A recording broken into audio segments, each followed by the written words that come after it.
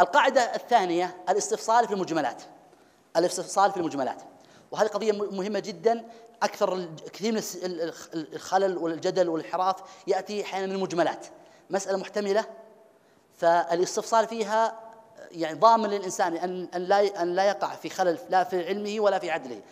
فمهم أن يستفصل وخاصة بالقضايا الفكرية لأن طبيعتها طبيعة كما سبق معقدة ومركبة فتحتاج إلى شدة استفصال في كثير من قضاياها.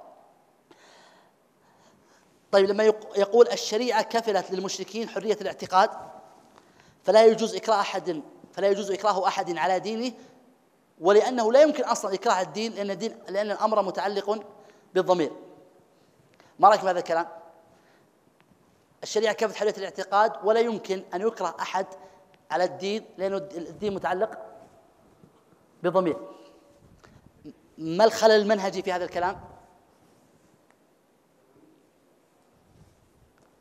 كيف؟ هذا جميل.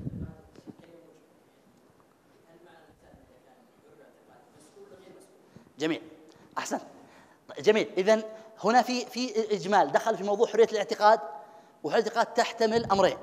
تحتمل الحرية المتعلقة بالضمير بمعنى أن يبقى على اعتقاده أو أو تحتمل آه، عده احتمالات تحتمل اولا الاعتقاد الخاص الذي لا نعرفه. شخص يعتقد بأمور لا ندري عن عن عن ما في قلبه. فهل نكشف وننقب عن ما في قلوب الناس؟ طبعا لا. وتحتمل الاعتقاد المسبق أنه النصراني يبقى على نصرانيته واليهودي يبقى على يهوديته.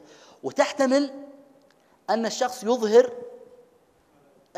معتقداته وتصوراته وأحكامه بدون أي مسؤولية وبدون أي حساب. فهو جعلها كل هذه المنظومة جعلها في سياق واحد وبدأ يستدل يستدل آه، لها. هنا يقع في خلل. فإذا بدأ الشخص يستفصل تنكشف له آه، صور الحق جميعا. المصلحة أساس التشريع. المصلحة أساس التشريع. ما رأيكم بهذا الكلام؟ هل هذا الكلام صحيح خطأ؟ خلاص شفتوا كلمة مجملة. طيب يمكن أساس يمكن التشريع يمكن كلمة أساس مجملة تحتمل. أيوة. ما الإجمال؟ وش الإشكال فيها؟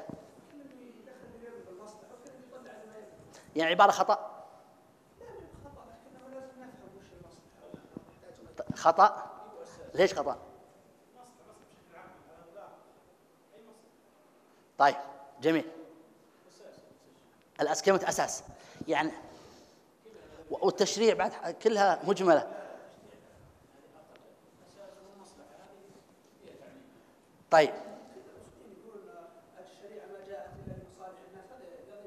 طيب. طيب ليش يعني دامك عارف إن الاصوليين يقولون ليش يوم جبتها هنا توترت منها.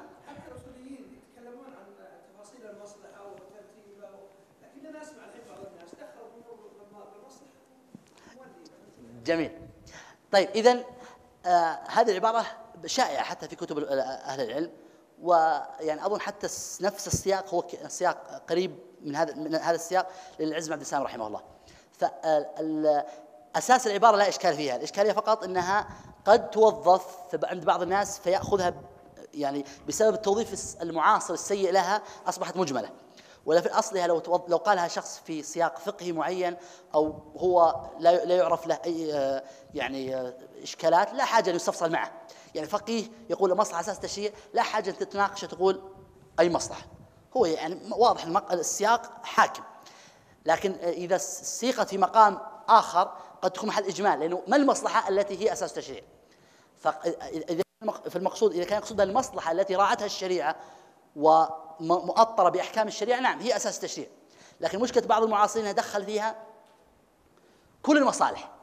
فصار إذا إذا استحضر مفهوم المصلحة لا يستحضر مفهوم مصلحة بحسب ميزان الفقهاء والميزان الشرعي بس بل بحسب ميزان أحيانا الأهواء والمخالفة تماما. حتى من توسع في باب المصلحة. كالطوفي رحمه الله لما قال مقولته المشهورة تقديم المصالح على النصوص على تفصيل في كلامه. لكن حتى الطوفي لما يتكلم هو يتكلم عن مصلحة شرعية. لا يتحدث عن مصلحة آه، مصادمة للشريعة أو منحرفة أو مصالح جاءت الشريعة بنقضها ومخالفتها. إنما هو يتحدث كما يتحدث الفقهاء. مصالح شرعية معينة عارضت نصوص معينة. فهو يرى تقديم مصالح النصوص. فمسألة يعني آه، آه، الطريقة الحداثية المعاصرة التي تجعل أي مصلحة بغض النظر عن مرجعيتها هي أساس التشريع. هنا خلل كبير أنك تجعل ما يعارض الشريعة هو أساس لهذه لهذه الشريعة.